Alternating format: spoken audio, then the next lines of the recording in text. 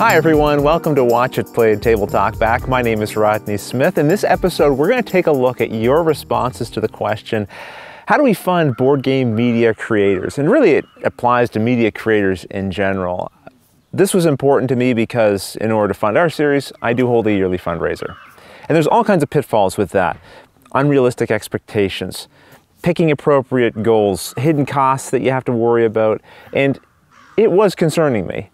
But after I posted the last video, it was like a huge weight was lifted off of my shoulders. I really felt like I was able to express to the people who mattered what my concerns were. And then the feedback I got was incredibly helpful. And I can't obviously do justice to all of the wonderful comments in this shorter video. I would highly recommend if you're a board game media creator, go back and read the comments because there's so much good feedback there. But I am going to do my best to give you a sampling of some of the comments and just talk about it a little further. Brad Henry suggests, Sponsorship from some of the larger game producers may be an option if they see the income you and other content creators generate for them. Well, that's a good point, Brad, and I really do appreciate when publishers hire us to do an instructional video. First of all, it tells me that they value the work that we're doing, and it also means that they want to support it and see it continue, whether it's for their products or for somebody else's. That said, I do have to be careful that I don't become too indebted to the publishers I'm working with. I feel like that might influence the work that I do.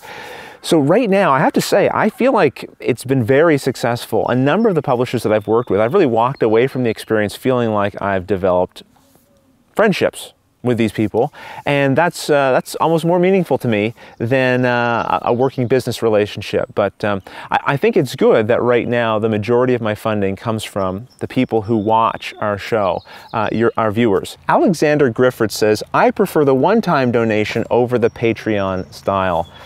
I have to say, a number of people agreed with Alexander, and I'm actually one of those people as well. I think Patreon is an interesting method and it can work with some formats of shows and podcasts. I'm not sure that it's a good fit for us. For me personally, an ongoing payment multiple times during the year just feels too much like a bill.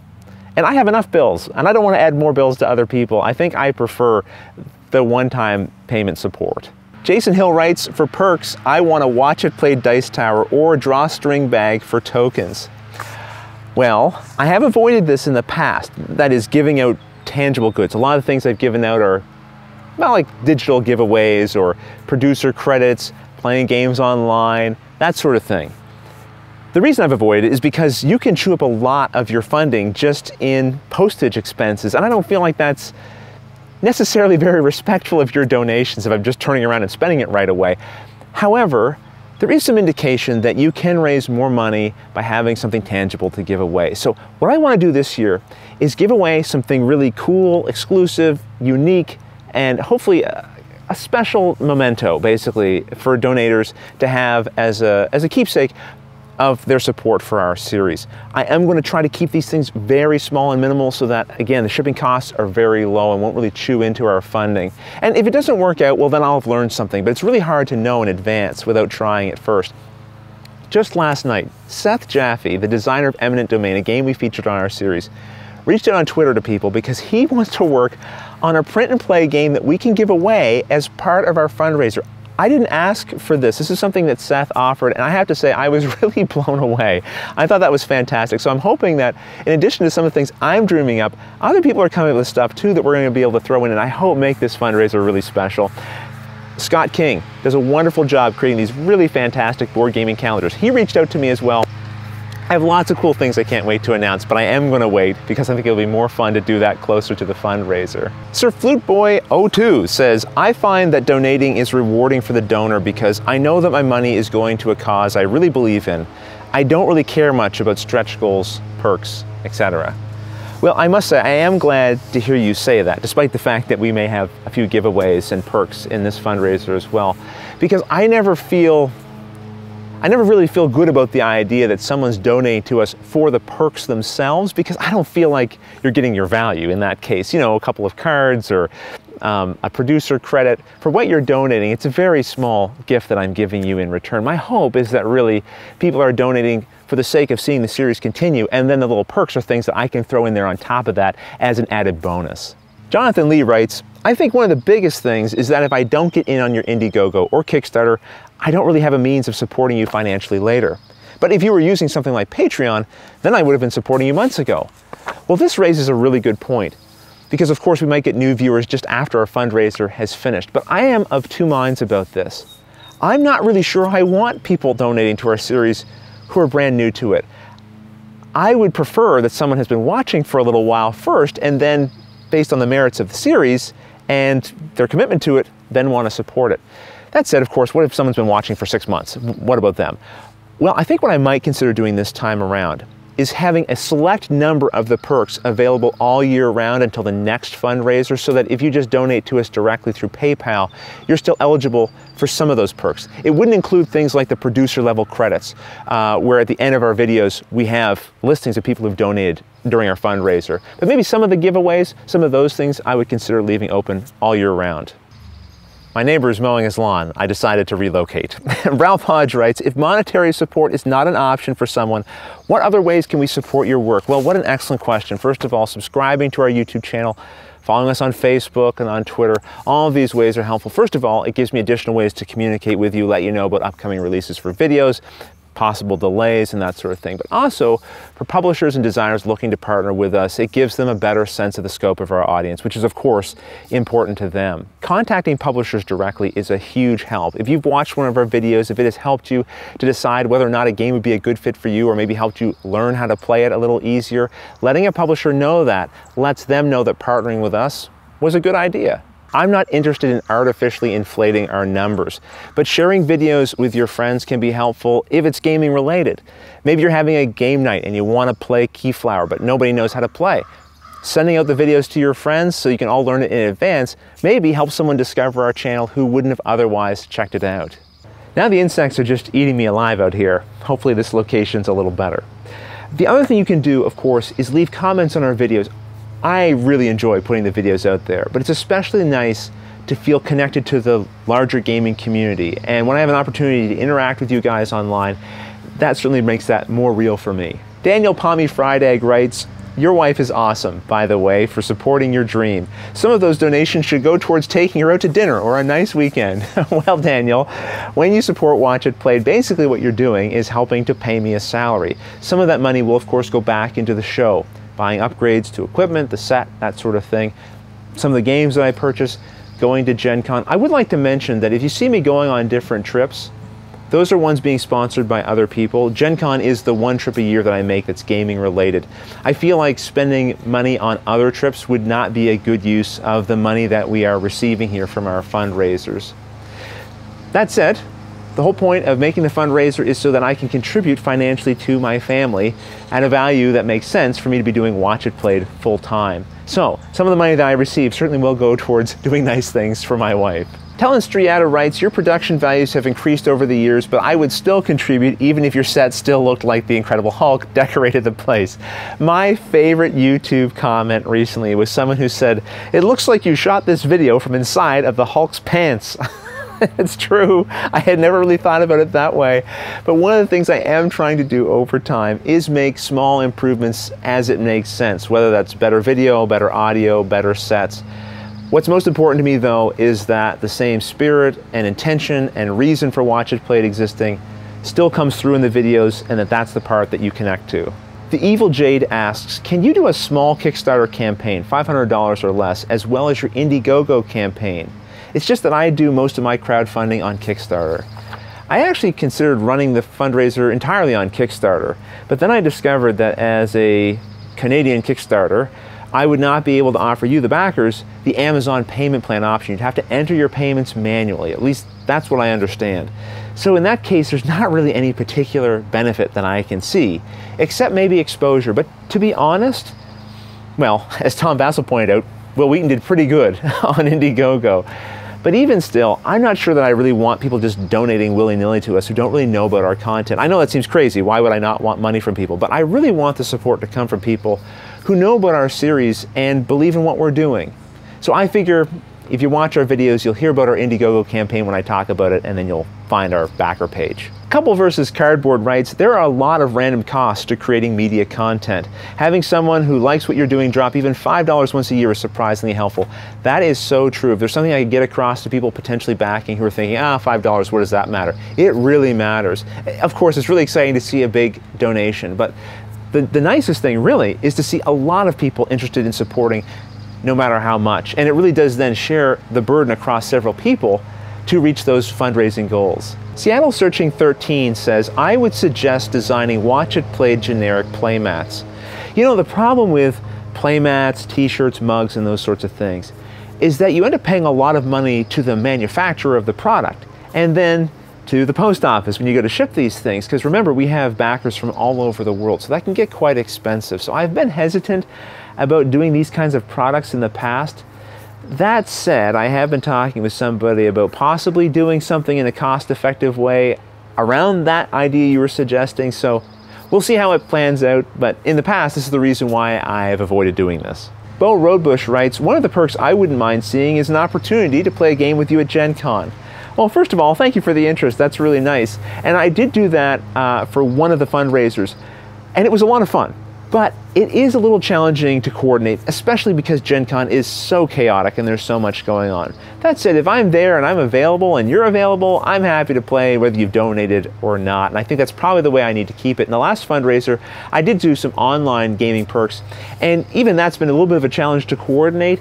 And I, I don't want people to think who've donated that it's it's um, it's a burden for me to do this. I, I, just feel bad I haven't been able to do it more efficiently or more uh, regularly. So I think in this fundraiser, I'm going to avoid adding those those on as well, at least until I've completed the ones from the previous year. Cam1138A says, I promised if there was no more wrapping, I'd double my support from last year, and I'll make good on that. Well, Cam, for you, I promise, no wrapping. Unless someone's willing to triple their donation, and then the wrapping's back on. Keith Collins wrote in with a very lengthy and helpful email about his philosophy on supporting different media creators. And Keith has been watching our series for a long time. He also goes by Madge Malfunction, and he's an ardent and outspoken supporter of a number of different podcasts and media creators like ourselves. So his input was very valuable to me. One of the things that he mentioned, though, is you know, and this is like, again, I think is a good tip for everyone is you want to ask for donations nicely and don't try to hold your show hostage you know, this is something that we really do have to be careful about. You know, I talk about we need to, to reach our fundraising goals in order for there to be a, a season four of Watch It Played. And that's true, but I really don't want people to get the impression that what I'm doing here is saying, you better donate or you won't be able to watch our content anymore. It, it's more that uh, I'm trying to speak to the reality of the situation, which is that it's, it's not fair to my family if I'm doing this show and I'm not able to continue to make uh, a little bit more money each year until the point where the show is sort of self sustaining. But that said, the risk is mine. This is a decision I made to try to do Watch It Played full time. It's, it's not your responsibility. I'm not entitled to your donations. I just feel privileged, honestly, that people have considered in the past supporting our series, and I do hope that will continue but I certainly don't take it for granted. Pete Sheary writes, Your show has saved me money over the years by providing information that helps me make good decisions on what games are a good fit for me. We won't talk about how many games you've gotten me to buy just in case my wife is reading. I would gladly buy one less game per year and throw 30 to $50 at any fundraiser you decide to do.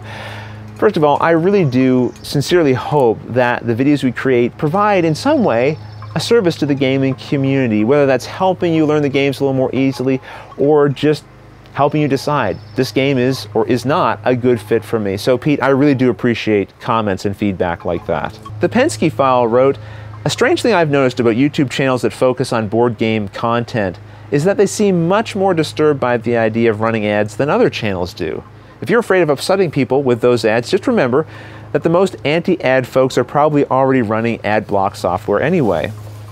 Krawchuk wrote, You should turn on ads. They are not annoying enough that you should cheat yourself any amount of income. And no matter the amount, it would not stop me from pledging what I could through a Kickstarter campaign. And Clement Chung wrote, For people who would like to donate but cannot, which includes me unfortunately, turning on the ads gives us an opportunity to contribute. The majority of the comments I received around ads suggest that people are not against me turning them on at least to experiment and see what kind of a difference that would make. And I, I do appreciate getting that feedback. because I really didn't want to risk losing viewers.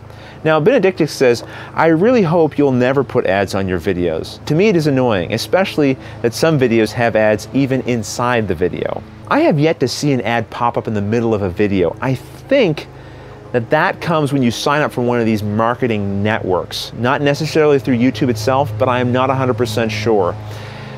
I think what I'm going to do is I'm going to set my fundraiser goal for this year and then have as a stretch goal, if we reach this level of funding, then there really is no need for me to turn the YouTube ads on, so I won't. But if we don't, then maybe this is something I'll try this year, and then we can collectively together see whether or not this was a good idea. One last thing I'd like to mention before I sign off here is maybe one out of 2,000 comments I'll get around the fundraiser will be someone asking, why are you looking to raise so much money?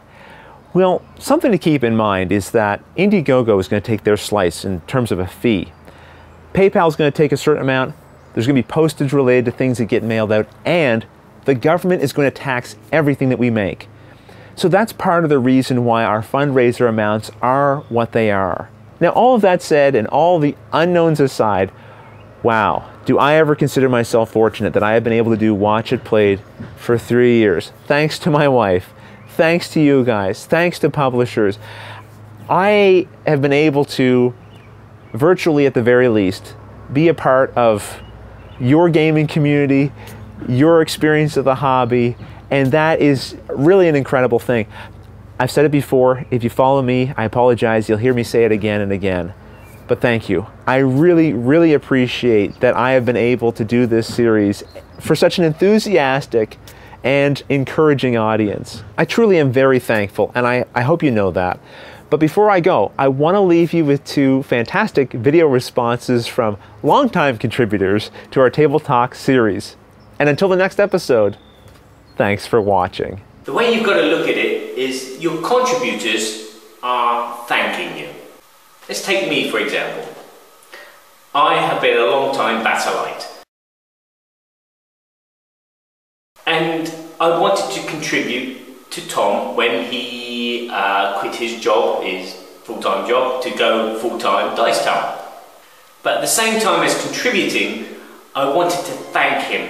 I, I didn't feel that I was thanking him enough by liking his videos and leaving in comments and sending me an email saying thank you for all your hard work and stuff.